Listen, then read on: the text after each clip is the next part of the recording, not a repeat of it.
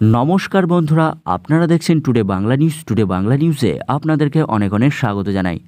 শেষ পঞ্চাশ বছরের মধ্যে সবচেয়ে জোরে ঘুরছে পৃথিবী মহাচিন্তায় বিজ্ঞানীরা।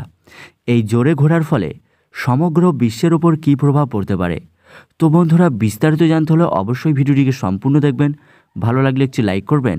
আর এই ধরনের লেটেস্ট ট্রেনিং খবর সবার প্রথম দেখার জন্য আমাদের চ্যানেলটিকে সাবস্ক্রাইব করে পাশের বেল আইকনটি প্রেস করে আমাদের সঙ্গে থাকবেন। তো চলুন এক নজরে দেখে নেওয়া যাক। গত পঞ্চাশ বছরের তুলনায় পৃথিবীর সময়ের চেয়ে দ্রুতগতিতে চলছে। কীভাবে এবার এই ব্যাপারকে সামলানো যায়, তা নিয়ে চিন্তায় পড়েছেন বিজ্ঞানীরা। বর্তমানে দেখা যাচ্ছে, পৃথিবী চব্বিশ ঘণ্টার আগেই তার নিজের অক্ষের ওপর ঘোরা সম্পন্ন করে ফেলছে।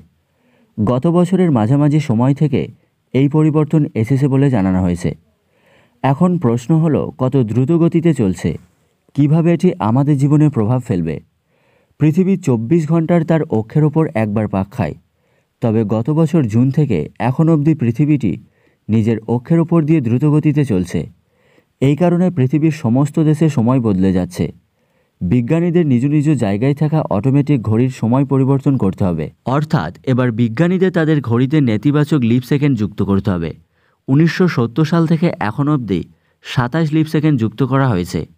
ব্রিটিশ ওয়েবসাইট ডেলি মেলের প্রকাশিত রিপোর্ট বলছে, বিগত বেশ কয়েক দশক ধরে পৃথিবী চব্বিশ ঘন্টারও বেশি সময় ধরে তার অক্ষের ওপর ঘোরে।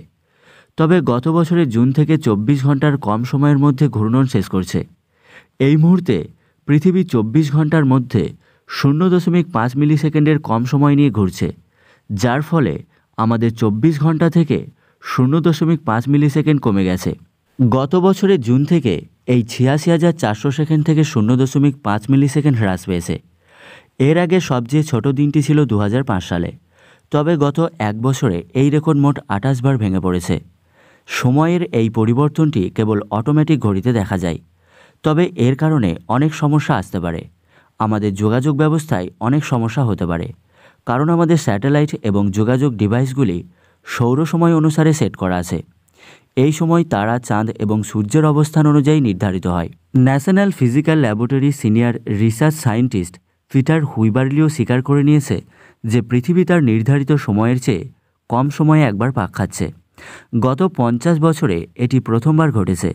তো বন্ধুরা, ভিডিওটি ভালো লাগলে একটি লাইক করবেন আর এই ধরনের লেটেস্ট খবর সবার প্রথম দেখার জন্য আমাদের চ্যানেলটিকে সাবস্ক্রাইব করে পাশের বেল আইকনটি প্রেস করে আমাদের সঙ্গে থাকবেন।